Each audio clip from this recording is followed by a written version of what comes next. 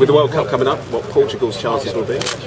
Well, when uh, you have the best uh, player in the world you can uh, think in, uh, something special, we, we have to wait. Uh, the, the most important is the, the first uh, first phase, no, the, with Germany, the stronger team also, uh, to be in the in the quarterfinals. Then uh, everything can happen. Uh, in in, in one game only, everything can can happen, and uh, we have players with, with fantastic quality, and we, we can we have a word to say in this in this World Cup. Will it be special for Portugal because it's in Brazil and it's got so many links and so many connections? Yes, uh, it will be one, one of the best uh, World Cups of ever. The people loves football. Uh, the language is the same of it's Portuguese, and uh, the, all the atmosphere will be it will be fantastic. I, I'm sure that will be one of the best World Cups ever. And the debate goes on about whether the best player is Messi or Ronaldo, but for you, is no doubt. For me, it's Cristiano, uh, uh, but they are the, both uh, incredible players. For me, uh, Cristiano is, uh, is the, best, the best player.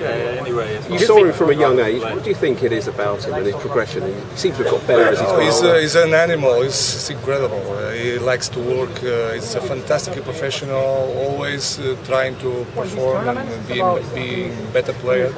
It's incredible. It's incredible. His ambition, ambition. It's it's uh, only the people that uh, know him well and work with, with him knows the the powerful and the, and the quality that. Uh, that Vic, he has. You have the that. uh, you have the best player. Sorry, you have the best player in the world. Do you also have the best manager in the world, who one day could become Portugal manager? Yes, I think so. I, I hope so also uh, because he's really fantastic. Also. Why is he? Could you explain?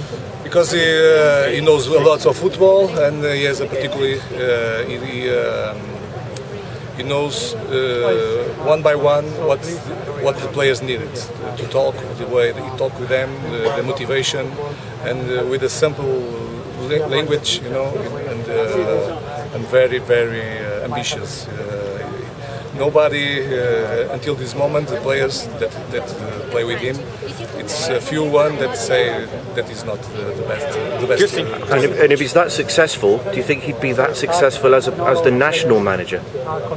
it's different. It's different to be national manager than uh, in, a, in a club uh, but uh, okay he has to adapt to that situation but uh, the quality is there. Uh, uh, uh, the, the, the, the coach with more titles. Uh, one of the coaches with more titles in the world